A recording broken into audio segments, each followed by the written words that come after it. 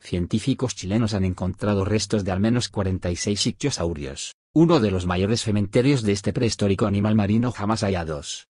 Es uno de los yacimientos de ictiosaurios más grandes de la historia o, por lo menos, de los que conocemos hasta el día de hoy, comentó el hallazgo el paleontólogo Cristian Salazar, del Museo Nacional de Historia Natural de Chile, MNHN. Los ejemplares, encontrados en el glaciar Tindal del Parque Nacional Torres del Paine, se conservaron bastante bien.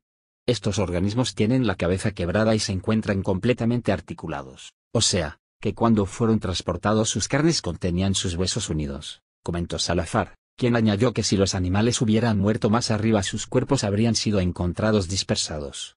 Entre los ejemplares hallados hay uno que tiene dos embriones de 15 centímetros y con restos estomacales.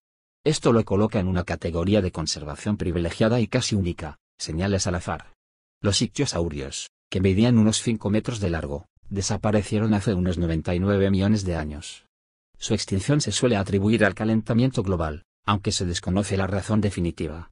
El hallazgo podría arrojar luz sobre este enigma, esperan los científicos.